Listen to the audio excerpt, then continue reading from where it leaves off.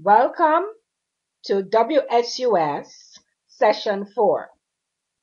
In this session, we're going to be looking at client-side targeting and how we will specify the WSUS server location. Client-side targeting allows us to assign updates to client computers based on group policy. We're now going to go into the WSUS console.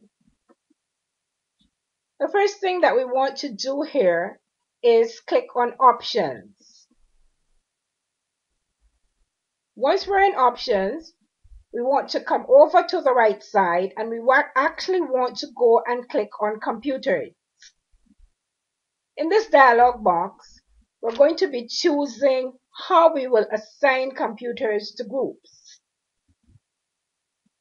So we must select the second option, use group policy or registry settings on computers. We click on OK.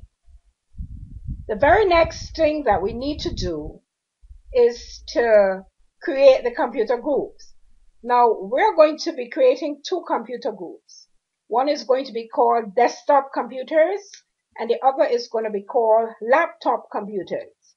The reason that we might want to create two groups is that we want to place different updates on one group and other updates on the second group. So to create the groups, we have to expand computers and then we come to all computers and we want to right click all computers and say add computer group. We're going to start with the desktop computers.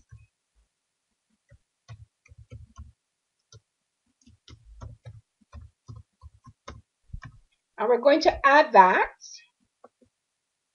Then we actually want to create a second group. So we're going to right click on all computers a second time, click on add computer group, and this time we're going to give the group the name laptop computers. And we click add. So what we have done here is that we created two groups. Let's expand computers and we can see that we have here desktop computer group and laptop computer group. Under the computer section, we see we have a tab here called unassigned computers.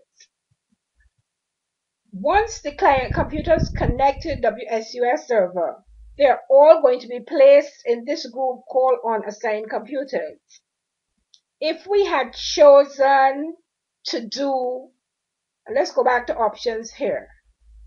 If we had chosen use the update services console, then instead of doing group policy, we would actually have to take the computers manually out of the unassigned computers group and place them manually in the desktop computers group or the laptop computers group. But that's not what we're doing today. The option that we're going to use is the one that we chose, which is use group policy or registry settings to assign updates to groups. So to do that, we actually need to go into group policy. So we're going to click on group policy management and we're going to create a GPO. So we're going to right click on group policy objects, click on new, and we're going to call this GPO client targeting. We say OK.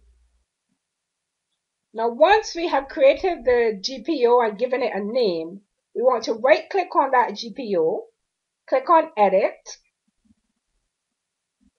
go to computer configuration, policies, administrative templates, Windows components. And we want to scroll all the way down to the bottom to Windows Update. In Windows Updates, we're actually going to look for the policy we need, which is Enable Client-Side Targeting. So let's click on enable double site targeting. Let's open it up a bit. And here we go. We click on enable to enable that policy. And let's see what the policy says. The policy says that we're specifying the target group name or names that should be used to receive updates from an intranet Microsoft update service. So over here on the left hand side, we actually have to type the name of the computer group that we created in the update services console. So we're going to type desktop computers. And if we want to add more than one group, we can put a semicolon and we can put the name of the other group. So we're going to go do that now. Laptop computers.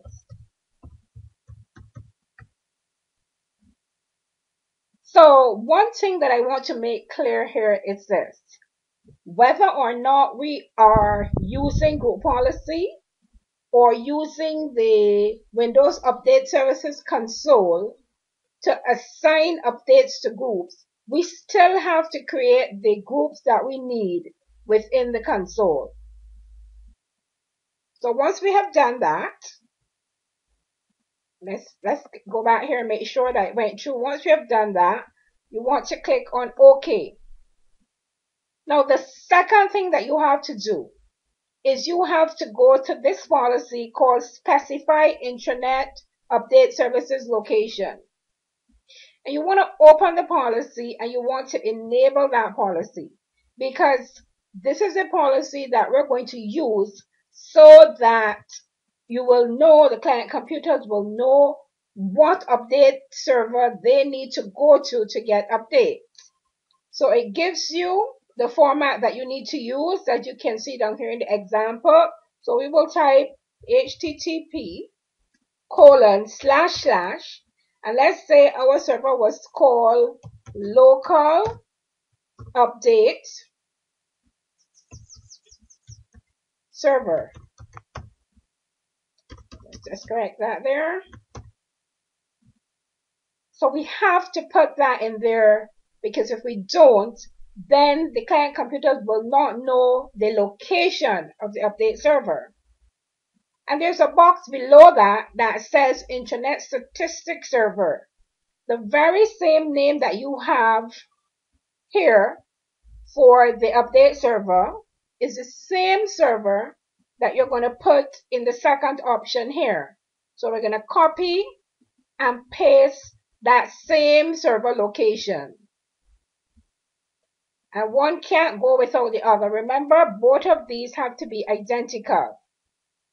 Once you have enabled the specified intranet Microsoft Update Service location, and you have put the server name both for the SUS server and for the statistics server, which are the same both of these are the same server, then we need to click OK. That is the end of this WSUS session 4. And in summary, remember that what we did for this session is we actually created a group policy enabling client-side targeting. And when we completed that, we went to the specified intranet Microsoft Update service location and we actually typed in the name of the WSUS server and the actual statistic server, which is the same as the WSUS server. Thank you for listening.